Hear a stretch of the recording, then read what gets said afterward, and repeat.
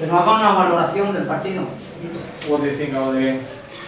Um, yeah, it was a very difficult game because it's a very difficult pitch. The pitch is not uh, great, uh, and that's why I'm very proud of my players because uh, today they needed to show something else, uh, different energy. Uh, we couldn't play the way how we want to play.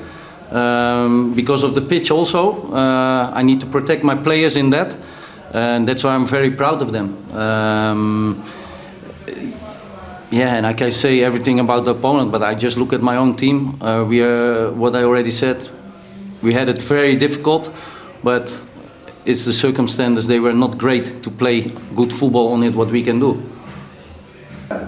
A pesar de la diferente, o sea, contando con la diferente energía que han empleado los dos equipos y con las ocasiones que ha habido en las dos áreas, ¿considera justo que el Castellón haya ganado el Ingreso? Oh, no, I think they had a lot of chances, that's true, but also because of the way we couldn't play here, because of the pitch. It's just very bad. Um, yeah, and I think in the end of the day, in the way how we play, we also have a good goalkeeper who uh, helps us in uh, this.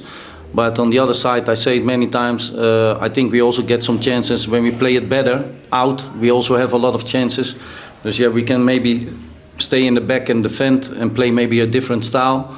Uh, I also think we get maybe sometimes a lot of chances against us because today I think the main thing what was difficult for us was the pitch. It was really was just very difficult, and I think in that uh, in that way we got a lot of chances against us because we played all the wrong pass or we misjudged the ball or it bounces the wrong way. So. Yeah, I just want to protect my players in that because uh, um, I think they did very well in that.